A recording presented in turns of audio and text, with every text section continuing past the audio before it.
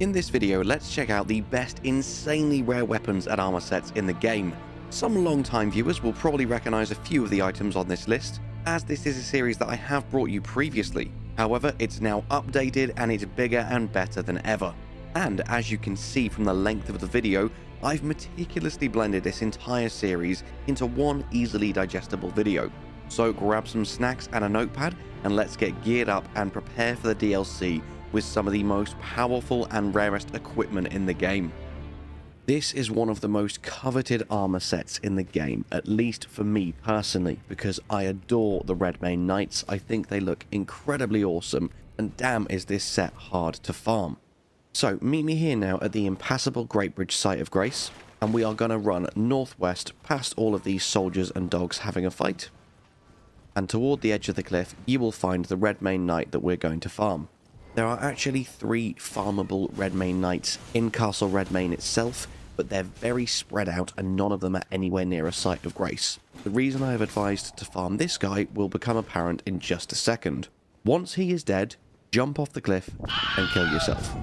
Once you die, opt to resurrect at the Stake of Marika, and it will put you on a cliff just above his spawn location.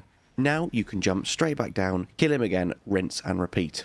Killing him and respawning three times is much, much quicker than trying to farm all three of the knights in Castle Redmane, which is why it is preferable to do it this way. Also, obviously, make sure you're doing things like wearing the Silver Scarab Talisman and using the Silver Pickled Fowl Foot.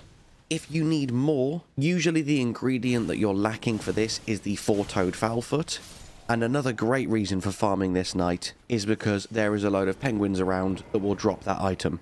Yes, I know that's not their actual name. I know what it is. I can't pronounce it. I'm not even going to attempt it. But it is on the screen for you now so you know what critter I'm talking about. Okay, enough rambling about the Redmane armor set. Let's move on to the second item, the Black Dumpling. The best place to farm this one is going to be at the Guest Hall grey site in the Volcano Manor. This headpiece is horrific, truly. Just listen to the text. A mask forced on a victim's head to lend torture an extra degree of cruelty. It magnifies one's fears and makes them acutely aware of all forms of pain. When the black dumpling goes on, the torturer no longer seeks answers, only to inflict suffering without hope of relief. Also, as it says, it raises your attack power when you suffer from madness, which is a very weird, very unique effect. So this can be paired with something like the unendurable frenzy as a way to intentionally trigger it on yourself to get that 10% damage boost that you get for wearing this headpiece. As for farming it, literally head out into the next room and you'll see one of the first generation Albinaurics wearing it. Now head south into the previous room. There will be four more in here and another one that runs down the stairs at you for a total of six that you can farm in very quick succession. Then you just want to run back or teleport back to the guest hall grey site and do it again. Rinse and repeat until you have the black dumpling. As there is six of them to farm, despite the fact that this may be the rarest one on the list, it shouldn't take too long because there are six nice and close and they die very very quickly. Now we shall move on to number three, the blue silver set. I shall now meet you at Ordina in the consecrated snowfields as we take a look at the blue silver set. This is worn by the wolf riding Albinauric archers and is probably one of my favourite armor sets in the game. It's incredibly awesome and unique, and my god is it hard to farm. Personally, what I recommend is killing Latenna when you first meet her at the Slumbering Wolf's shack. You lock yourself out of a somber ancient dragon smithing stone, but she drops this whole set right at the start of the game, and you remove the need for this agonizing farm. Should you wish to keep her alive and do the farm, from the Ordina Grey site, head southwest and there will be a few wolves and three archers all stood around these cliffs. They are lethal and will all back each other up. As soon as you shoot one, they'll all start shooting. So it is not an easy farm. So the alternative is to fight the archers actually in the town itself, but that's arguably no easier. No matter which way you look at it, farming these archers is tough because they are crazy strong in terms of damage and defense. Yeah, there's no easy way to put this. If you want to do this farm, good luck. It's going to be painful, but the reward is so worth it. This set is awesome. So now that we've done that, we will talk about a very specific chest piece, the Guardian Armor in full bloom. Quick public service announcement for you, this chest piece is missable. As you see, I'm in the Minor Erdtree Church, where we farmed the rest of the Guardian set and the Sword Spear. However, please be advised, despite the fact that all the Guardians here are very clearly wearing this armor, they do not drop it. You can only get this armor from the Guardians with the large flowers near the Erdtree Sanctuary site of grace in the royal capital before it becomes the Ashen capital. So if you want this, you need to farm it before you change the world state. It has a very cool effect that it raises the HP recovery effects of your Flask of Tears, but greatly lowers your fire damage negation. And this bit of flavor text is very cool. It is said that the blood red flowers blooming on their backs mark the senescence of their ancient pact. Perhaps the Guardians are part tree already. I genuinely think the Guardians may have become my favourite NPCs in the whole game. I love everything about them. I love their look, I love their lore, I love their weapon, clearly. I cannot stop banging on about the Guardian Sword Spear. So as I can't stop banging on about how good it is, let's talk about the first weapon on our list, which is of course the Guardian Sword Spear. When it comes to this weapon, the best place to farm it is going to be the Minor Erdtree Church at the south of the Leyndell capital outskirts. There are six Guardians here around the church, most of them are hiding in the floor though, so have a look for what look like bunches of red flowers sticking out of the ground and hopefully, after a few resets with high enough discovery, you'll be able to grab yourself the Guardian's Sword Spear. Now, this weapon is incredibly slept on and needs quite a lot of explanation to stress exactly how amazing this is. Firstly, again, it has the spinning slash, but you can infuse it with any Ash of War and get rid of that.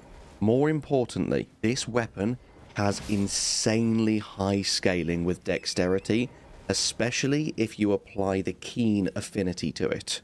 So much so that a plus 25 Keen Sword Spear actually has a higher attack rating at both 99 strength and 99 dex than a quality short spear at 99 strength and 99 dex.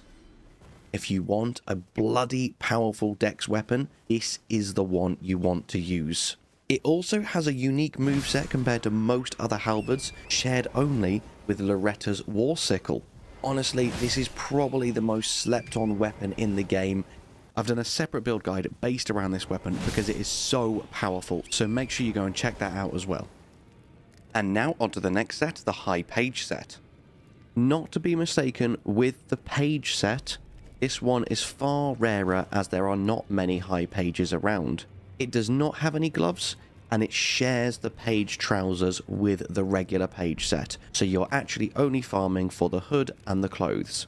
This is best farmed in Leyndell Royal Capital as there are a few around there, and the quickest one to farm would be from the West Capital Rampart site of Grace, run out towards the Gargoyle and the Golden Seed, then double back on yourself, head down the stairs, and there is a page on your left hand side. It's a short run and you won't aggro any enemies, so you can just quickly keep farming that one. However, if you've already gone past the Royal Capital, you now find me in the Raya Lucaria Academy, and to easily get to this one, once you have unlocked the shortcut ladder, from the Church of the Cuckoo site of Grace, enter the church, take the ladder up, and on the other side of the room is a long hallway where you'll find this high page at the end it is still quite an aggravating grind because of the fact that they are so limited and it is a bit of a trek to get back every single time you need to refarm.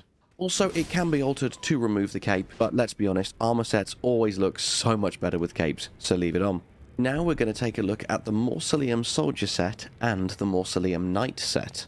We'll start off with the Mausoleum Soldier set, and the easiest place to grind for this one is at the Eastgate Bridge Trestle, here in Northern Liurnia. Now head east towards the Wandering Mausoleum and just kill all of the Mausoleum soldiers around here. There's also a Mausoleum Knight that you can farm for the Knight set, but hold that thought, there is an easier one and I'll come onto that once we've finished talking about the Soldier set.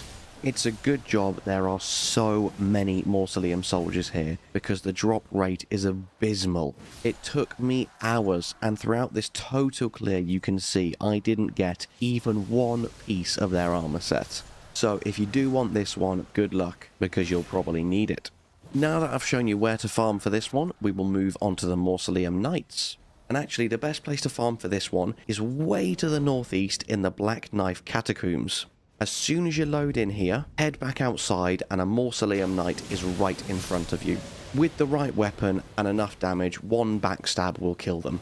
So, though the grind for this one is quite slow, it's very painless, because the Site of Grace is right there, and you can usually kill this Mausoleum Knight before it even aggroes. Also, the flavor text of the armor is heartbreakingly awesome. The winged shape ornaments on its back evoke the Death Bird, a self-inflicted curse that ties the spirits of these loyal knights to the land, having willingly beheaded themselves so that they may serve their masters in death. That is truly haunting. And again, make sure with all of these farms that your discovery is way higher than mine currently is. Bump up that arcane skill, use the silver scarab, use the silver pickled foul feet, or this will take you an eternity. The next one we'll be reviewing is the Marionette Soldier Bird Helm. A metal helm formed in the likeness of the face of a bird, worn by the Avionette soldiers crafted to serve the sorcerers. The construction of this helm is remarkably crude, for a doll, the only thing that matters is that it does not break. I'm not to lie, I think it looks pretty damn dumb, but for all of us completionists out there, we must have it. So now let me show you the easiest way to farm it. Meet me at the Southern Aeonia Swamp Bank in Caelid. Of course, we've come here for a reason, and that's because there are three nearby Avionettes that you can kill without needing to aggro any other enemies. Straight away, head northwest, and you can aggro one of them right here.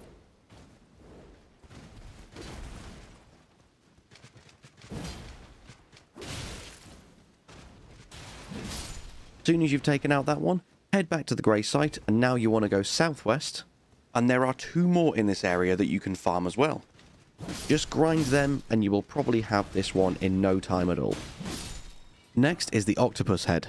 This has got about a 0.5% chance to drop from any of the little baby land octopuses, not to be confused with the giant land octopuses. For the longest time, I actually thought this did drop from the giant ones, and it was only when this dropped for me during my most recent playthrough that I realised. It's not quite as hard to farm as a few others on this list, due to the fact there are so many of them. In fact, loads of them can be found just south of the Saints Bridge site of Grace, in a small lake right by where you first meet Iron Fist Alexander. There's a few other locations with lots of them, but honestly, I'd say that's probably the easiest place to farm it. And just one other quick thing about the octopus head before we move into the second piece. For its weight, it actually has surprisingly solid resistances and as the item description states, those who can withstand the smell will find its organic elasticity excellent for negating strikes. And exactly as it says, its strike resistance is insane, especially for how light it is. So this is actually a really solid mid-weight helm, albeit it looks creepy AF and has its own jiggle physics. Moving on, and we're actually going to be looking at both the Nox Monk and the Nox Swordstress sets. Both of these sets share the same bracers and greaves, and they actually also share their bracers and greaves with the Night Maiden set, which we'll come onto in just a minute. So you should find that by the time you finish your farm, you will have an endless amount of bracers and greaves, and it's just the helms and the chest pieces that you will be farming for. So firstly, we'll take a look at the Nox Monk set. This is definitely the most visually different of the three, though definitely not my favourite. The helm can be altered to remove the hood, and the armour can be altered to remove the cape. And the best place to farm this set is right here in Nokstella, the Eternal City. From the Nokstella site of Grace, basically just clear all the Nox enemies in the immediate vicinity. You'll find plenty of monks and swordstresses around here. For the monks, two can be found in the ruins northwest of the Nokstella site of Grace, and two more can be found in the room locked behind a stone sword key to your left after going up the stairs. All of the armor we'll be collecting from these next few enemies has a 3% drop chance, so in theory it isn't as tedious as the octopus helm However, as you actually have to fight these enemies, and there are far fewer of them, this could certainly take a lot longer to obtain. And moving on to the Nox Swordstress set, other than the four monks I previously mentioned, the rest of the enemies in this area are Swordstresses, aside from one Night Maiden up the stairs. As the text on this armor states, these women are the personal guards of the Night Maidens, and the silk hides their eyes. However, you can alter the crown and remove the silk eye covering, launching convention. Now that we've covered the personal guards of the Night Maidens, let's move on to the armor set of the Night Maidens themselves. The Night Maiden set is definitely the hardest to obtain of the three, and rightly so because it indicates the highest clerical rank. The best place to farm for this set is at the Night's Sacred Ground. Specifically, once you have completed the area and opened all shortcuts, you can go to the Night's Sacred Ground Site of Grace at the end of the zone and trace your steps back up the stairs back into the church with the large sphere silver tear, and there are two Night Maiden enemies that you can farm in here. It's a little bit more of a walk than the other Nox enemies, and there are only the two of them, which is why this one will take the longest to farm. This one is also the most impressive though, in my opinion, with the twin crown headpiece that the Night Maidens wear. And now that we've covered all three armor sets of these Nox enemies, let's take a look at the Black Flame Monk set. This set is tremendously more rare and harder to find and farm than the standard Flame Monk set, owing to the fact that all four pieces drop off only two specific enemies in the game. You can find one at the bottom of the Divine Tower of Caelid, but my personal choice is here in the Volcano Manor. From the Temple of Eiglay of Grace, where you defeated the Godskin Noble, head back outside the way you came in, turn left and walk down the stairs and you'll see a Black Flame Monk at the bottom that you can sneak up and backstab. Personally, the Black Flame Monk set is so much more awesome than the standard Flame Monk set because it's just so much more intimidating due to the complete absence of colour in this set. And when you read the text and understand the Black Flame monks, you understand how much more intimidating they are. The Black Flame monks, enthralled by the god-slaying Black Flame, became traitors, abandoning their posts as guardians. The seduction of a taboo is never easily spurned. This is definitely one of the longest grinds, but if you are a completionist like me and you do love your fashion souls, definitely a set worth grinding. Very, very cool. Now we'll take a look at both versions of the Banished Knight sets. I will be covering both the altered and unaltered versions of this set at the same time, because they are individual pieces, you cannot just alter them with Boc or with your tailoring tools, and the different pieces drop from different enemies. It's not quite as straightforward as you'd imagine, so bear with me and let's go through it together. We'll start off with the normal version of the Banished Knight helm and the altered version of the armor. And that is because the Banished Knight helm only drops from one location in the game, and that is at the Cathedral of the Dragon Communion in Caelid. You'll see one wandering around as soon as you spawn in, and another one standing by the cliff to the west. Farming these two is the only way to get this headpiece, and as you're farming them, they also have a chance to drop the Banished Knight armor altered. I'm not even going to bother talking about the gauntlets or the greaves because they all drop the same gauntlets and greaves. So by the time you have finished farming both versions of the helm and both versions of the armor, you will have the greaves and the gauntlets. I'd be incredibly surprised if you didn't. Now, the Banished Knight armor altered can also drop off the Banished Knight in Stormveil Castle in the room with the human limbs hanging from the roof. As you're farming for them too, you can also try and grab yourself the altered version of the Banished Knight helm. This can only drop from one Banished Knight, and he is again in Stormveil Castle, located next to the chapel in the northwest section where Sorcerer Rogier is. So once you find him, head back outside again and you will see the Banished Knight wielding this helm. Finally, I saved the best till last. Best because it definitely looks the best. I love a cape. But also, I was being a little bit sarcastic because this is painfully agonizing to farm. The unaltered version of the Banished Knight armor can only be farmed in Castle Sol. There are two here, one to the south and one to the north. I'll be focusing on the northern one because he is way easier to farm in my opinion. Starting from the Castle Sol rooftop grace site, run south to the elevator. Call it up to you so that you can get a better vantage point, but make sure you don't accidentally send it down because you can mess this up. Now you'll see the Banished Knight over there in the distance. Shoot him with a ranged weapon and it will cause him to teleport towards you. Now you can kill him, and when he inevitably doesn't drop it, teleport back to that site of grace and rinse and repeat until he does. Also, I should say, far, far, far later on in the game, at the Crumbling Farum Azula, is a load more Banished Knights. However, just like the ones at the Cathedral of Dragon Communion, I believe they all drop the altered armor and unaltered helm. Because of the fact that all of the different knights drop different pieces and this cannot be altered by you or Boc, it makes this a painstaking farm. So if you do try and do it, good luck. The unaltered version of the armor looks amazing, but it is a painful farm. Now that you know where to get them, we will move on to the second last armor set, and that is the Fire Prelate set. Just really quickly, I'll show you the altered version of the armor, which isn't adorned with the red cloth. That altered version is dropped by the Fire Prelate found in Fort Laiedd in Mount Gelmir. We won't be focusing on that though because it just doesn't look as good as with the red tabard. So the full set with the red tabard the best place to farm it is at the Guardian's garrison in the mountaintops of the Giants. Just by this site of grace, head towards the garrison and on the left you will find a fire prelate. Once again, all of the drop rates are abysmal, and this is one of the toughest enemies in the game just because they're so damn tanky. So this is definitely a painful one to farm, and personally it's not my favourite. But it is a very rare, very sought after armour, and it would have felt wrong to not include it in this list.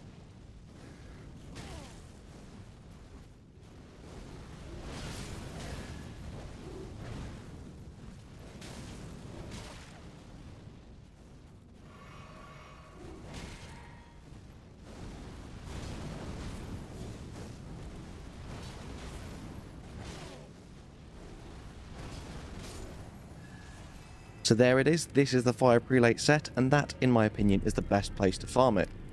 And whilst we're already in the area for the Fire Prelate set, you can also farm this enemy here in the mountaintops to get your hands on the Thorned Whip.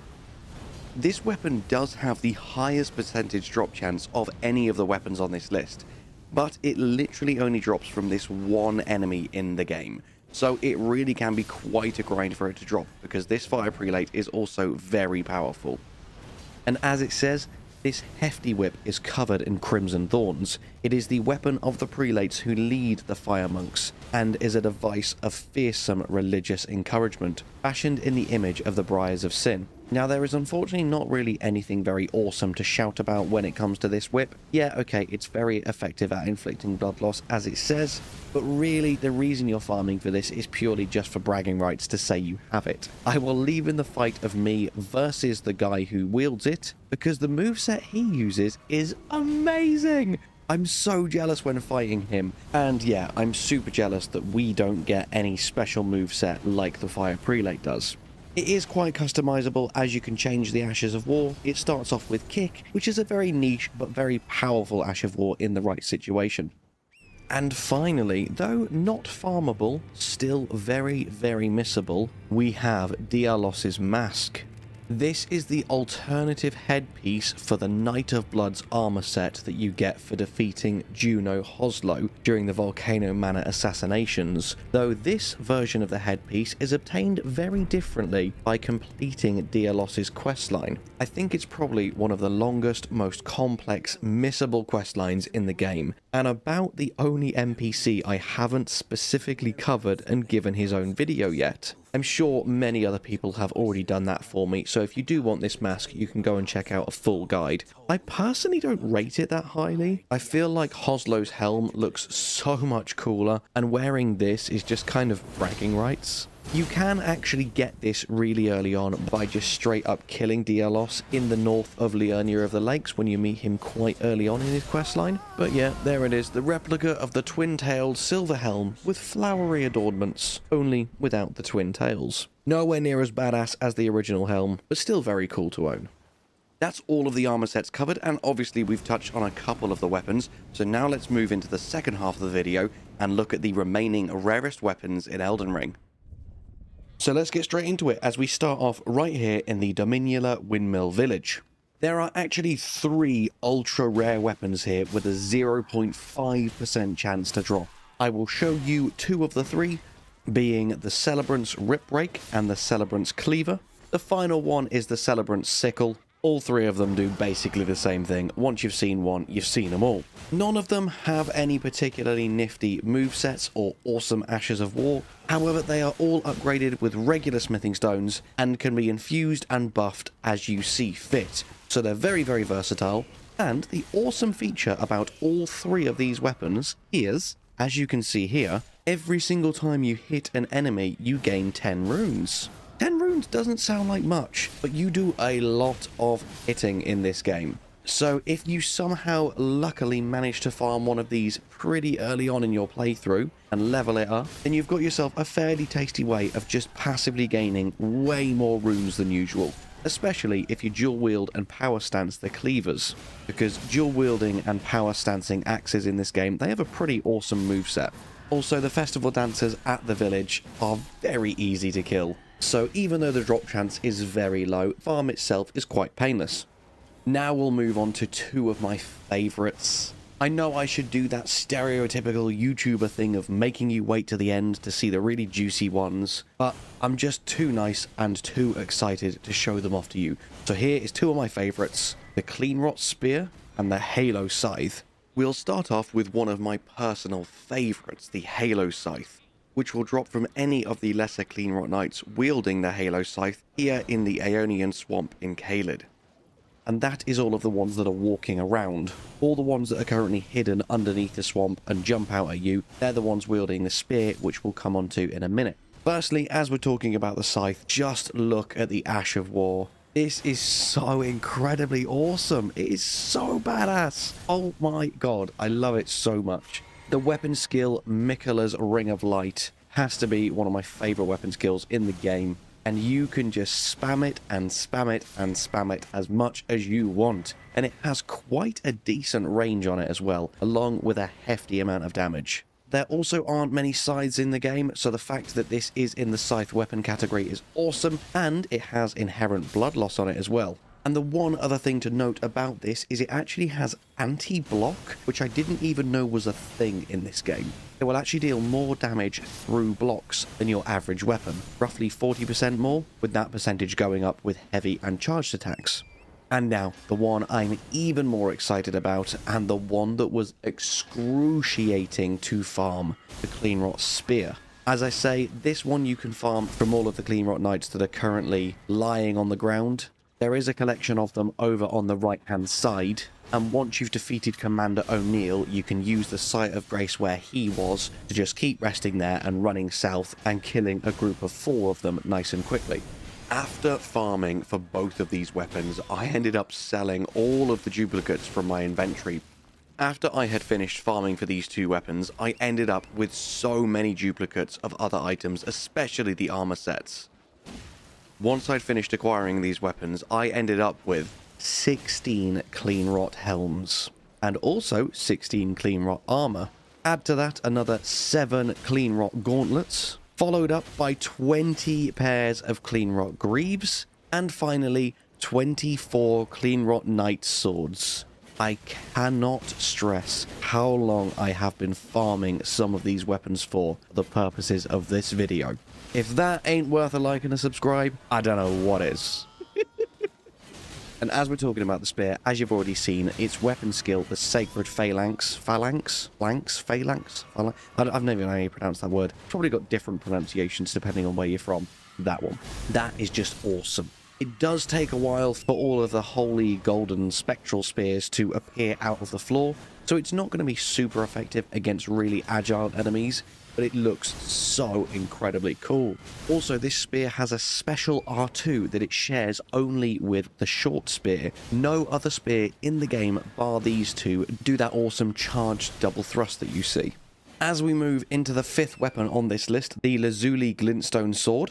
This one you will find in the Raya Lucaria Academy and drops specifically from Lazuli sorcerers that wield this sword themselves. The easiest one to farm is right by this schoolhouse classroom site of grace, which is the enemy we'll be testing the weapon out on. This sword is actually amazing for intelligence-based builds and can be used as an alternative to the Carian Knight Sword if you are going for a pure caster build. The Carian Knight Sword will slightly outperform it if you're going for a hybrid build, however this outperforms if you're going for pure intelligence. Also, its weapon skill, the Glintstone Pebble, is awesome. It does exactly what the spell Glintstone Pebble does, but if you then follow up with an additional input, you will thrust forward with the sword, dealing a crazy amount of damage with your Glintstone infused sword. Overall, it's a neat little sword, packs a surprising punch, and it even has a very special, unique heavy attack that can block attacks before the slash comes out, and charging this heavy attack will further extend the time that the weapon blocks before you slash. Just note that despite the way it looks, it doesn't actually utilize your left hand shield during the attack, only the block stats of this weapon apply, which is great because it means you don't need to have a weapon equipped to use it. So it is very versatile along with being a solid fast melee option for an intellect build. Next up, we're going to be taking a look at the Noble's Slender Sword that you see here, and in my other hand, the Noble's Estoc. Both of these swords are dropped from the Wandering Nobles in Limgrave. Obviously, you'll need to kill nobles carrying that weapon for a chance for it to drop and the drop chance for both of these is absurdly low, something stupid like 0.2, and the armor sets that go along with them are a crazy low drop chance as well. There's nothing too awesome to shout about when it comes to their move sets. One is just a very standard straight sword, and the other is a very standard thrusting sword. They can both be buffed with magic and consumables as much as you want, along with changing the infused Ashes of War as well, so they are completely customizable, and the thing that does make them quite nifty is the fact that they are dipped in gold. This is not just a cosmetic effect, it means that they are one of the most expensive items in the game when it comes to selling them, both selling for a thousand runes each. And probably your best bet when trying to farm them both is this caravan here, just outside of the waypoint ruins that I was in at the start of this clip. As you can see, just like with other straight swords and thrusting swords, with the right stats and fully maxed out, they still pack a punch. And even though there's nothing specifically awesome about them when it comes to combat, they're still worth farming even if just for a cosplay build. Next up, I will meet you at the Crumbling Beast Grave site of Grace in Farum Azula. As we take a look at the Beastman's curved sword, and more importantly, the Beastman's cleaver. We'll look at the curved sword very quickly first because the cleaver is the more important one. Both of them, as with all weapons in this video, have an insanely low drop rate, and without things like High Arcane, the Silver Tear Scarab, and a Silver Pickled Fowl Foot, it is practically impossible to get them, so do make sure you're using them items and you've got the right stats before you try and farm these. That being said, Curved Sword is a lot easier to get, purely because of how many Beastmen in this area wield it. The best place, specifically for this one, actually, is probably near the Crumbling Beast Grave site, Site of Grace, because there are seven Beastmen carrying this weapon in a few rooms around that grave site. But the reason we're not going to dwell on this weapon any longer is because the Beastman's Cleaver is literally just a straight upgrade on the curved sword. The curved sword is decent if you're going for a quality build because it has strength and dex scaling, but the dex scaling that it offers is fairly minor. And when you compare it to the Beastman's Cleaver, which is a curved greatsword as opposed to just being a curved sword, the Beastman's Cleaver literally just outclasses it in every single aspect.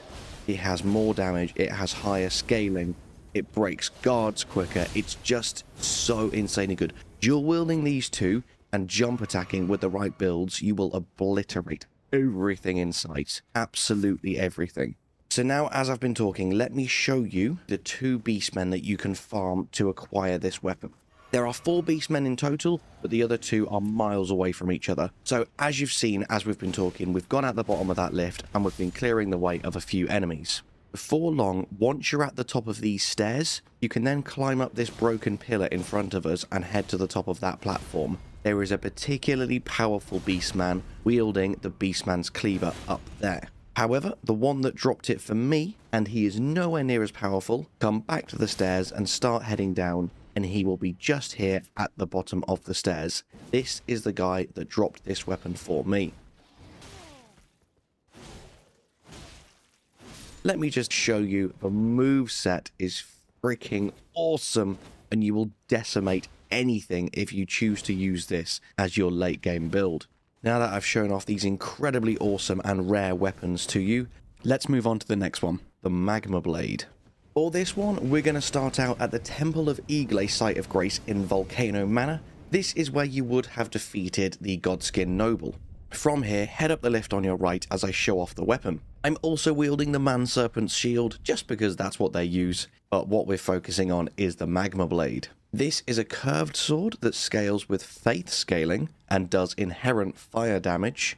It is a curved sword with a blade fashioned from the lava of Mount Gelmir, an armament of the man serpents impossible for a human to have made. It deals fire damage, and most importantly, its unique skill, the Magma Shower, gives you the best of both worlds when combining the move set of a curved sword with the awesome weapon art of a whip as you will slash at foes in a twirling motion while scattering magma all around, and an additional input allows for a follow-up attack.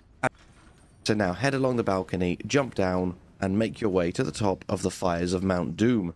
Be careful of the Virgin Abductor that will come around the corner as you're traversing the lava. Run past her, head through the door on your right, and this is where you will find the first of the two serpents that can potentially drop this blade. Once you've taken him out, in this next room and down the other end of this corridor is the other serpent that could potentially drop the blade. There is one or two more throughout Volcano Manor. I believe there's only one more, but he is so far away from the other two that this is your best bet. Just grinding these two and resetting back at the Temple of Eiglay until you hopefully get the Magma Blade. Incredibly awesome curved sword to add to your arsenal. Next, we will move into the spiked spear of the marionettes. The best place to farm this one is at the converted tower to the southwest of Liurnia. And you basically want to look around the tower for any of the marionettes around that are wielding a spear. Obviously, the ones using bows and arrows won't drop it. So, specifically, there are two patrolling the slope to the north of the tower, one standing to the northeast of the tower further down the slope from the previous two, one patrolling the northwest, and finally two more patrolling in the woods to the south. As there are six enemies all quite close by, you shouldn't have many problems getting this one. Having two of them means that you can truly roleplay as a marionette. However, unlike when wielded by the marionettes, you unfortunately can't start flailing them around you at a million percent speed like they do. But it's still a cool weapon to have, and this spear does have a rare horizontal R2, which is shared only with the Partisan and the Death Ritual Spear. But when you do dual wield spears, their power stanced moves are very, very awesome. Also, it does have inherent blood loss buildup, and can be infused with any Ash of War and buffed with any magic or consumables. Now let's move on to the Ripple Crescent Halberd of the Albinaurics. For this one, we're going to start off at the Palace Approach Ledge Road site of Grace. I'm sure many, many, many of us cheesy farmers are very familiar with. This weapon cannot be infused with different Ashes of War. However, what makes this an incredibly powerful sleeper weapon is the fact that it can be buffed with magic and consumables and is one of the very few arcane scaling weapons that can. Along with having an S scaling before it is even fully maxed out, this means that it will significantly increase status effect builder as well as damage, which means this is ideal for melee arcane builds and using a lot of greases. For certain greases, such as the drawstring poison grease, it will nearly double the effectiveness of that grease. So this can be an incredibly powerful weapon when in the right hands and used with the right build. Now for where to get it, just keep heading all the way down the hill and at the bottom, when you get to the Blood Swamps, you will see no less than nine Albinaurics just patrolling around a couple of trees, all wielding this weapon. And as you can see, this one, I somehow very luckily managed to get a second one almost instantly. Hopefully you get that lucky and this grind isn't too bad for you, but don't hold your breath, just in case. And we will now move into the final of the 16 rarest weapons in Elden Ring the monk's flame mace, and then, way more importantly, the monk's flame blade. Both of these weapons are technically as rare as each other. However, you may find that you actually already have the Monk's Flame Mace just from a regular playthrough. There's a bunch of them wielding it in Liurnia and in the mountaintops of the Giants, and even more monks wielding this weapon are patrolling around the Guardian's garrison as well. It also has a very unique R2. As you can see, the strong attack rouses a fiery combative spirit and looks a bit stupid, if I'm entirely honest. But the main reason we are checking out the monk's weapons is because of the monk's flame blade. This can literally only drop from one enemy in the entire game. Now, as for where to get it, from the site of grace, go down the stairs to your left. You can avoid the first fire monk completely if you want, and then go right through the hidden path, jump down, avoiding or killing the imps, and then proceed forward. Here you can use Margit's shackle to turn off the flame trap. Then as you head down this hallway, the only monk in the game wielding this weapon will ambush you from the corridor off to your right. This is a painful farm as he is the only enemy in the game that drops this weapon, so good luck. And I am absolutely devastated that it is not more badass. It can be infused with Ashes of War, so it doesn't just need to have the spinning slash that quite a few weapons have. But apart from that, there is nothing that cool about it. It looks absolutely amazing, don't get me wrong. But surely this should have innate fire damage. Why would it not? It's called the Flame Blade. It's a curved sword with a flickering flame motif. It's wielded by fire monks who came to the land of Liurnia in pursuit of a fugitive who stole their fire. There physically could be no more references to fire on this weapon, yet it doesn't deal any fire damage. It is unfortunately very generic but as you can equip different Ashes of War on it, equip something like the Flames of the Redmane or Flaming Strike. As we're wrapping up this video, did you know that I have a second YouTube channel where I upload all of the challenge runs that I live stream over on Twitch? So if watching live content isn't really your thing but you don't want to miss out, the link to that channel is down in the description. And whilst you're over there, please hit subscribe, I'd be very grateful. And with that, all that's left for me to say is, as always, thank you so much for watching, I hope you have an amazing day, and I'll see you in the next one. Bye bye.